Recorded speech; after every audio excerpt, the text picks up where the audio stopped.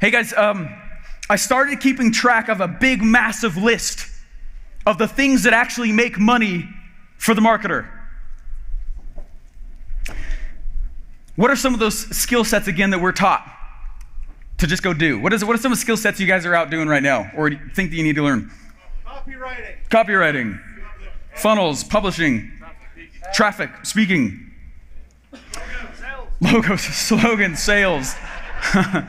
Door's right there. Yeah. Just kidding. um, hey, uh, so what I started doing though is keeping a big list of those things. And what my team and I have been doing is going through each one of them and asking ourselves, is that actually marketing? And that's been a hard conversation for many of the things on the list. And tomorrow I'm going to go through and share with you guys some of the habits that rich marketers have done for hundreds of years. I'm very excited about that. A lot of research went into that, that presentation. But what I want to share with you guys, though, is this whole concept of launch campaigns. The term campaign is dying. It's dying. Okay? And I'm I can't share all these the but I can't share all the campaigns with you. But what I've been doing is I've been keeping track of a huge list, and there's two kinds. First, there is a campaign that launches a product, call them launch campaigns. The second is an evergreen campaign, and that's what keeps it in orbit. So one puts it up, one keeps it up. Okay, one gets it out in the orbit, and one uh, one one keeps it out there. Okay, so what I want to do is I want to walk through a few of the things that actually get your funnel, your offer, all the noise and the attention it deserves in order to actually put it in orbit. Okay, this is a big deal. This is actually this is the second place. I said the offer um, or the sales message is where marketers make their money. This is that second part okay, the campaign. And it's becoming a dying craft because people think a campaign is a Facebook ad. not, okay? It's not a campaign. It can be part of one. It's not a campaign, though, okay? And so I'm going to go through just a few of these pieces here with you. Now, um, my first funnel that I ever built inside of ClickFunnels, actually, is the second one that I ever did. The first one I ever, uh, sorry, the second one I built, again, I was, I was in the army, I was in college, I was married, uh, we had kids, life was busy. And I was spending discretionary two, three hours a day that I was just eking out to go build my stuff. And it took me eight months. And I was like super into Russell's stuff already. And, um, and he, anyway, I, I went and I, I put all the pieces together and I built the funnel. And I was like, well, what should I sell in the funnel? So then I built the offer. And I was like, well, how do I sell the offer? And then I built a sales message. You guys know from this event that is the opposite order to build anything, okay? First it's sales message, then offer, then funnel. But I did it in that order. And then I went and I started launching I started putting it out there. And for me, what it meant to launch, eight months go by and the data launch happens and there's all this writing on this. And I'm telling my wife, for real, you know, the better thing. I got it. Can you imagine if 1% of the 1%, I start doing that game, right? And, uh, and, and she's like, okay, cool. Like, let's just try like 15, you know, let's see if it happens and um, uh, I was getting close enough to the end of college to try and actually like really have to make it work or start applying for jobs.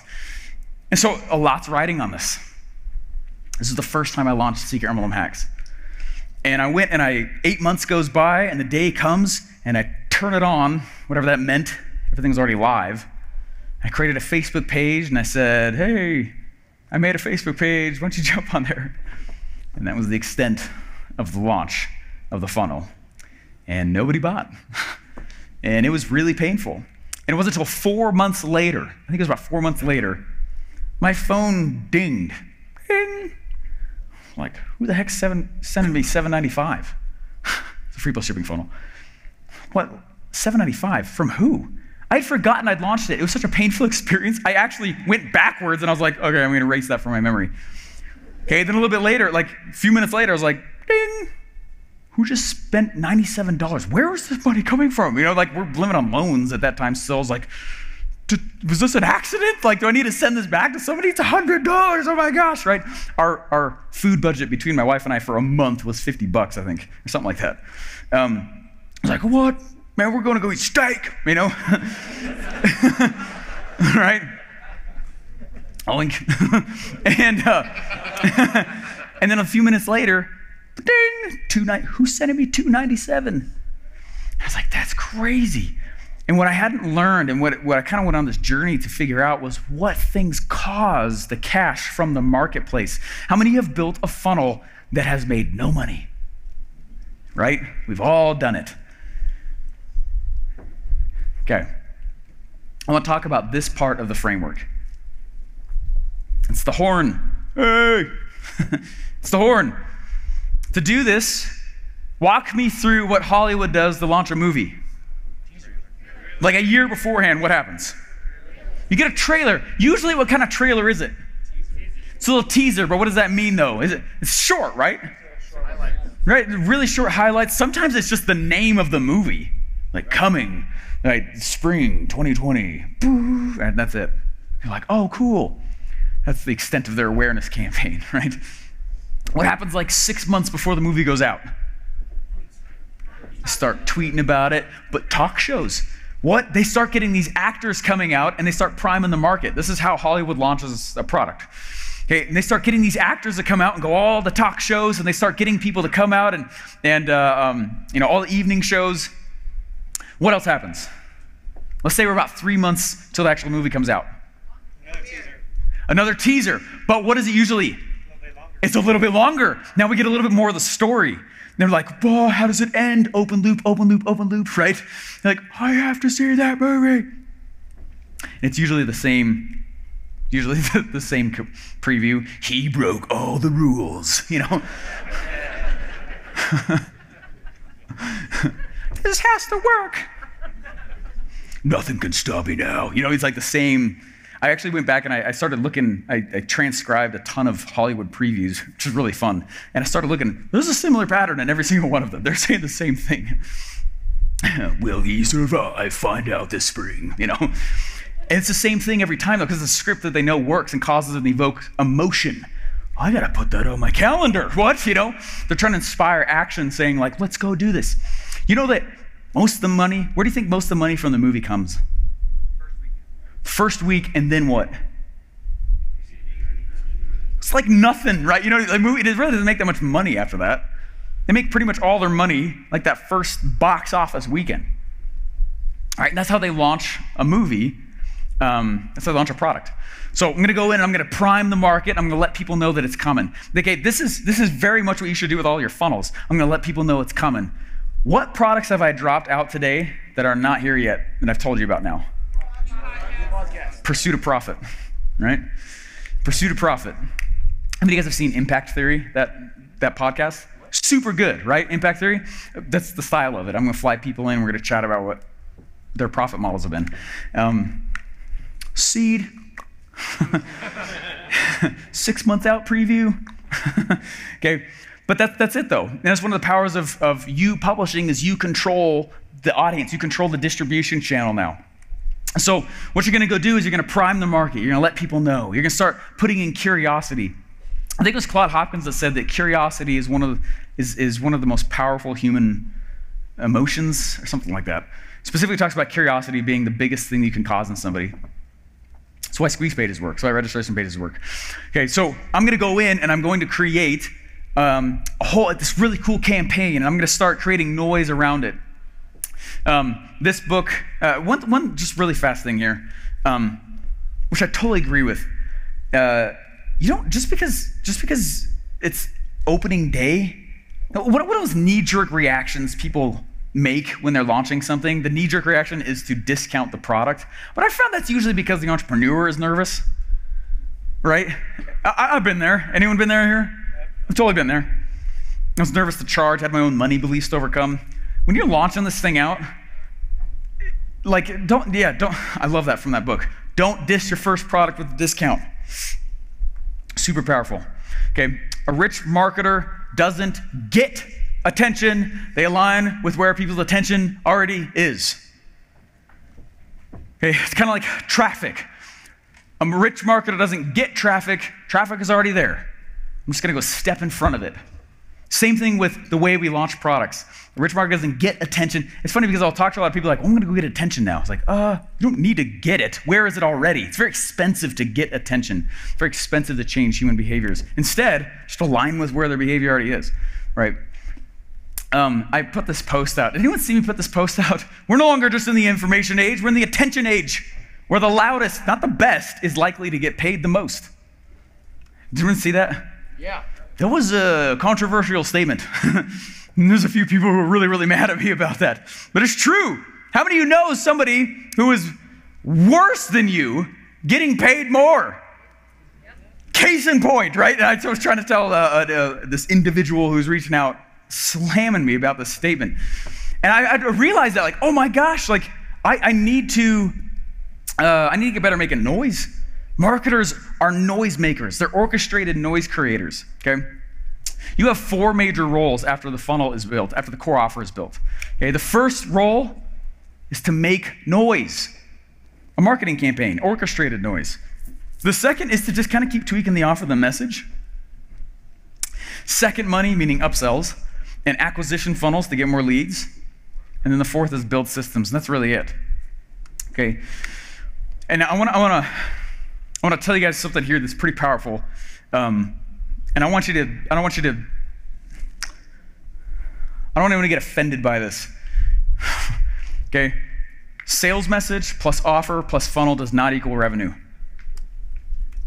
Ah, that equals poop.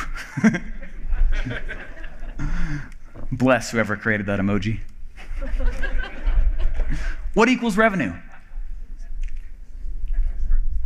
Sales message plus offer plus funnel plus campaign equals revenue. The campaign is the way you put it out to the marketplace. It's what actually puts it and tosses it out there. Without that, that's why I built so many funnels uh, personally that made no money. Was the funnel bad? Not really. That's probably not it. Was the offer terrible? Most of the time when I've looked at you guys' offers, it's the offer is not the issue. Right? Was the sales message bad? That's usually one of the biggest places I start to look first. It's usually the who in the market though. Okay, but really the real issue though is that no one knows about it. There's not enough of a campaign for people to go, oh, I could buy this thing. Uh, about, a, about a year ago, uh, somebody reached out and they said, Stephen, we love what you do, but no one knows what they can buy from you. I was like, ouch. I should probably be more vocal on what it is that you could buy from me, right? And um, um, anyway, so it's how you cause noise and push into the funnel. That's the campaign itself. Does that always need to be ads? No, absolutely not. Absolutely not.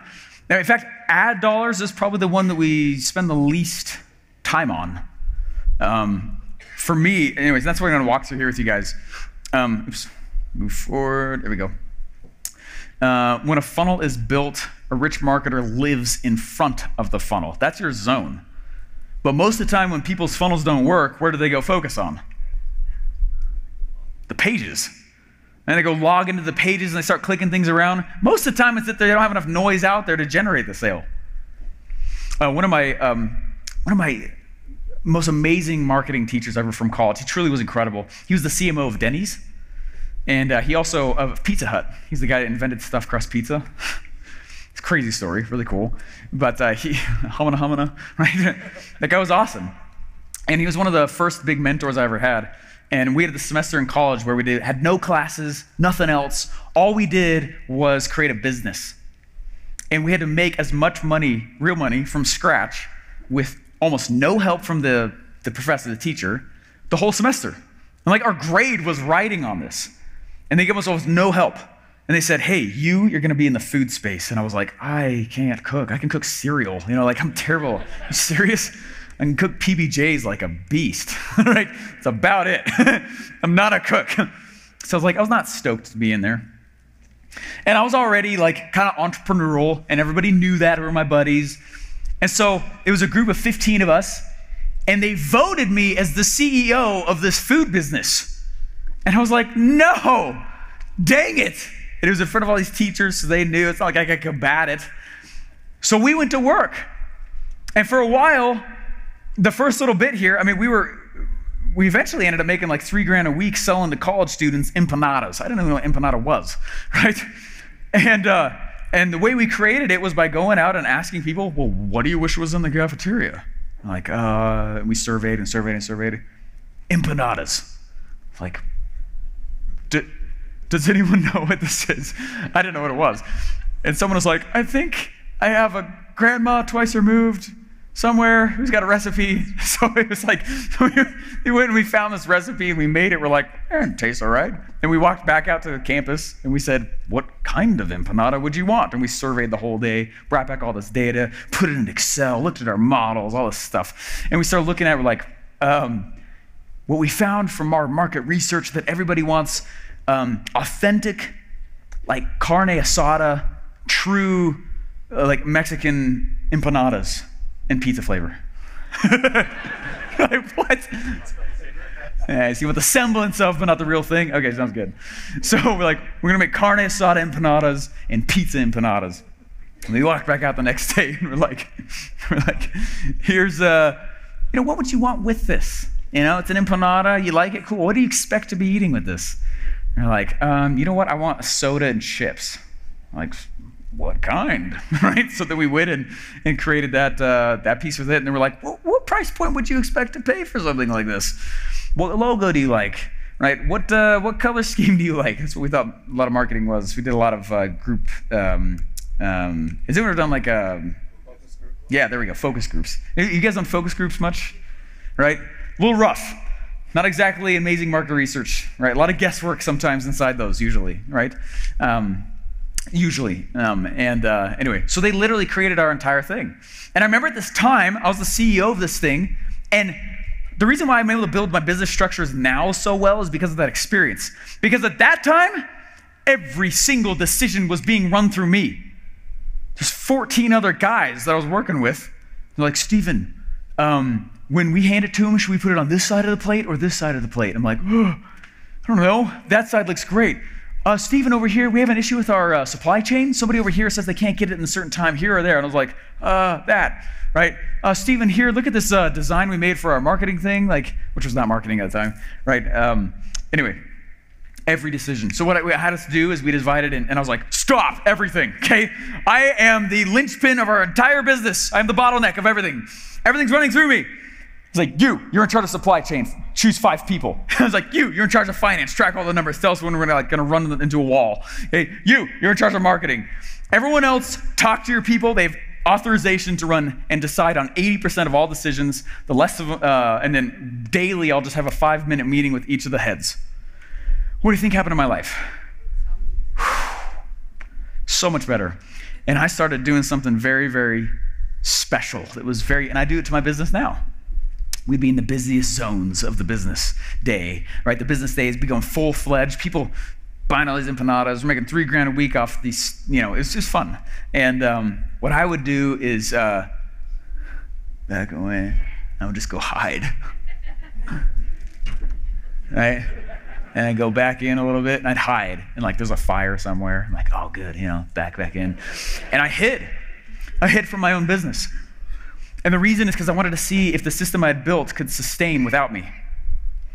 And I would watch to see where the breakdown was, and I'd come up and I'd start creating these rules. I was like, hey, rule, when that happens, here, precedence, there it is. There's our, there's our SOP. Okay, keep it right there. Okay, over here, when that happens now, just do that. What happens now, do that. And disappear again. I wouldn't tell anybody. It's during the busiest times.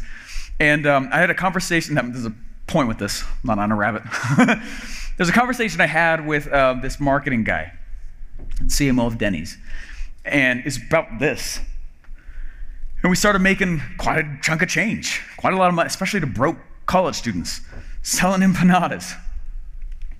And uh, they, I was like, hey, I feel like our marketing campaigns, the teachers were never allowed to intervene. We had to come to them with questions, which means we had to get good at asking questions, which is why I always harp on everyone else about it. Okay.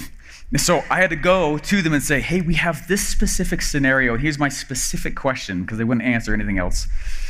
And, um, and I said, hey, this is my question. Hey, um, I'm like, we just did this huge marketing campaign. Again, in the general advertising world, it wasn't a real one. Um, and it, I feel like I'm yelling at people. Like I'm like, empanadas, you know, like I don't know how loud or how much louder I can get. Come get the empanadas. We have a new, like, fajita style one or whatever, right? Which totally fell apart. It's totally gross. Um, Okay, but they, uh, the, I was like, I feel like I'm, I mean, it's probably in some cases I was actually yelling, you know? I don't know how much to get attention to the fact that we have these and people like them and we have a lot of repeat customers. We're doing the punch card things. We get repeats. It was great.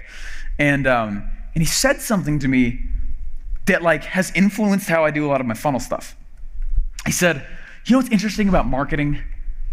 He's like, the moment you feel like you are being insanely loud, like you're getting annoying.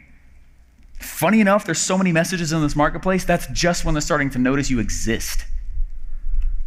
Ah. So we got louder. Way louder. Yeah, a little oink there on that one. it's funny, it's a thing. It's awesome. okay?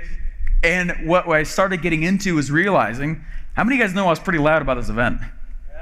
Every day every day, a full month, where all I did is every episode of Sales Funnel Radio was about this, this, uh, about this event. Every day, posting the new ticket list of all the people who are coming in. What did that cause? Big social proof, right? Every day, right? See, watch what I'm doing in this and please model it into your own business. Let me say steal it, but model it, okay? Into your own business. Um, and it comes back to this piece though most of the time as us marketers, we kind of get lulled into this security where we're like, well, I'm going to go start a Facebook campaign and I'm going to go build my funnel and it's not working, so something's probably wrong with the funnel. The funnel doesn't start at the first page. The funnel starts at the campaign. The funnel is not the first page. The funnel's way ahead of that. That's just where a funnel just captures cash. It doesn't create cash. Okay? And so because remember it's a sales message and an offer. And that's just a method for me putting it online. And so, what I need to get good at is understanding what causes the noise. So, I'm gonna, I'm gonna rifle through a few of these here because I got uh, nine minutes. Sound good? Yeah. What is a marketing campaign? From Google. Google says it is an organized course of action to promote uh, and sell a product or service. It's the actual mechanism to pull cash off the table. Okay?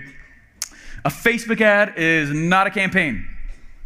Okay, it's kind of like um, a seat is part of the car, but the seat is not the car. Right? You can still use ads in there. Anyway, let's let's move on here. Okay, what most people do, uh, sorry, what do most people do when they actually launch today? All they do is they do an email, they do a social post, they create an Instagram story, maybe some Facebook ads, and um, that's about it. That's all they do to push that. And I'm not saying I'm not like, throwing rocks at that. Okay, but the issue is it's not really a campaign. I want a campaign. A campaign is a series of steps you've crafted it's a series of events on the internet that you've crafted, online or offline, that creates pressure, like Hollywood launching a video. Okay, I'm going to create all this pocket of pressure here, pocket of pressure here, pocket of pressure here. It's all directed towards a single date, towards a single moment. Pressure, pressure, pressure, pressure, boom. Okay? And what happens is for me, most of my cash from my funnels come from that, and it's what I use to pay my funnel teams. I don't actually make any money on my launches. What I do is I take that money and go pay off my funnel teams, pay off my campaign teams, pay off my scale teams, and I'm left with a killer asset. Now I make my money from evergreen campaigns. I don't make any money from launch campaigns. Dumps, I, I take that money from my launch campaigns and I dump it straight into my evergreen ones. Does that help? Yeah. That's a method of looking at how to build the funnel and get it out the door for free that has, I mean, it's, it's one of the reasons we launched so many funnels. I'm not building them because I know that's not my role. I'm a marketer, not a funnel builder. Okay? I know how to build a funnel, but that's not my role in my business. Okay? Okay, the product that will not sell without advertising will not sell profitably with advertising. It's a big sentence right there. If I can if I if the first place I go to drive an ad, or the first place I go is driving ads, and I don't even know if it sells without ads, it's gonna be a scary ad.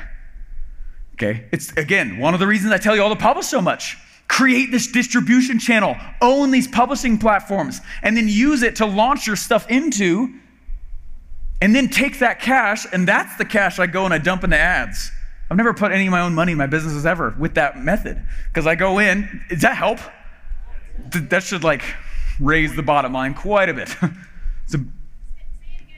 yeah, yeah. So I go in and I, I do a launch campaign, and I'm going to walk through several actual examples right here, real quick, and I'm going to do it kind of quick. Okay. I take those launch campaigns, though, and they're very specific series of events that cause pressure towards a certain date, which you all have seen me do. Okay? And then what I do is once there's pressure, pressure, pressure, pressure, pressure, and I do it through all these different ways, boom, that cash comes out. I take that money, the profit or the, uh, the, the revenue that came from there, I take that revenue, that's actually what I go pay off my funnel teams with. I still pay about 15 grand per funnel right now, personally.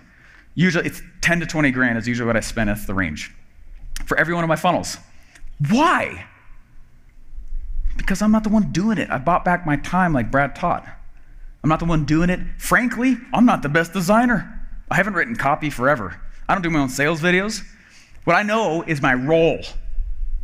And that's what I'm going to teach you guys tomorrow is the three rich habits of, of or three habits of rich marketers and actually teach you guys what those are so you guys can do them. Because the game's gotten really easy now. Now that I understand that, whoa, wait a second. My role is to stand in front of the funnel, not build the funnel. I'm going to stand in front of it, cause pressure, and then the revenue that comes off it, pay off the teams, and the leftover cash that comes from that, I go put that in my evergreen ads, things like Facebook, and I get paid from that, and I'm left with this amazing asset. It's why I don't have to go by secret MLM hacks. It's the reason why it stays up there like that. We're going to go rebuild it probably in the next uh, two months here, and you'll watch me do it. Okay, you'll watch me do it. You'll watch me go in, and I'm going to craft it. And anyways, that's, I'm really stoked about tomorrow for that. Okay, little oink. Oink, oink, you suck. Oh, baby. All right. Guys, you need to create pressure and noise around the release date. Um, do you guys know Ray Higdon? Yes. Great guy. Awesome guy. Love the guy. He has like a $200 product He's been selling it for, I don't know, two years, maybe three years. He just crossed $10 million with it. It's like a $200 product. How? He understands campaigns. Like the end of each month, he says, enrollment is about to open again for one week only.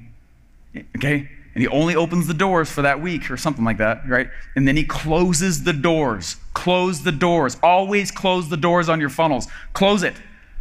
No one takes action without scarcity and urgency. They're like the second secret weapon of marketers. Okay, so then he closes the doors, and for those other three weeks, if you go to that page, ah, join the waiting list. We'll see if we can get you in in the next enrollment period. And he goes in and opens it back up. That open and close, open and close, it's one of my favorite evergreen strategies. Okay, now when I actually build a funnel, I don't. I used to just design the funnel. Now what I do is I actually design uh, the fulfillment at the same time.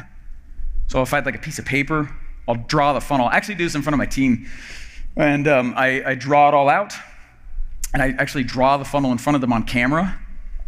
Um, and then I go and, uh, with a different color, make a specific video for each role in the funnel build. I'm like, hey, copywriting expert, Ashley, wherever you are. There you are. Hey, Ashley, uh, this, is, uh, this is actually what we're going to be doing in this, uh, in this funnel right here, on this first page, uh, we're going to be selling this book. It's free plus shipping. Here's the offer. And I want the story to be about X, Y, and Z, and I'll tell you the story. Right, and by the way, here's the email sequence I want to give. On the second page, here is the, um, you're going to get the video from Brandon or Alex, wherever you are. Um, um, and uh, you'll see in there, most of the copy on that page can come from the video because I'm going to spend a lot of time creating the sales letter for that. But I'm going to do it on a video, so you'll actually have all the copy there. On this one, same thing. On the thank you page, we're actually going to do a thank you page webinar. So if the copy, could you reinforce the fact that they just bought? But I also want to encourage them to stick around so we can start their training now, which is really they're going to watch the webinar. Chop the video, send it to her. Go to the next role. Go to the next role. Get, that's my role in my business. Okay. So I'm going to go and I'm going to design the funnel and fulfillment at the same time. I'm also going to design my launch campaign, meaning how does it get out? An evergreen campaign. How does it stay out? Reason a lot of marketers get poor in this game, they stop being a marketer, but this is part of it. They don't design an evergreen campaign, meaning something that constantly is selling. My ads, they're not they're usually not the thing that causes the most cash coming in, but it's enough cash weekly to just keep my doors open. While I create other campaigns for these boom moments. a lot of cash, a lot of cash. You guys getting a lot of ahas from this? Yeah. This is like the skills that make the game. okay? I want you to know when we talk about squeeze pages, it's not what's going to fill your pocket, it's this. Okay? Um, there's no relationship between risk and reward That is a huge fallacy. Um, meaning, oh, there's a lot of risk going on on this campaign. You could, they're actually not really related.